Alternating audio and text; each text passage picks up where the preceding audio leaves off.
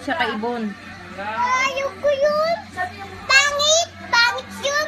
Si Makoy tsaka si Elise. Uso ko na yung inom. Hindi, ayaw ko yung pangit. Ilom. Gusto ko ilom. Oo. Sama si Ah, Elise. ayaw ko yun. Pangit. Gusto ko ilom. Ilom? Apos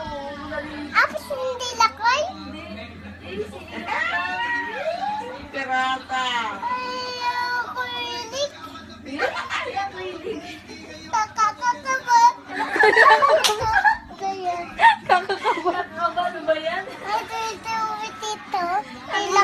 Oo, pumunta dito sila tsaka si Elise.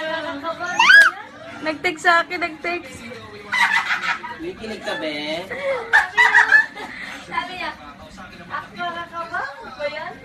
Nagpupunta dito si Elo, si Makuya, tsaka si Inis.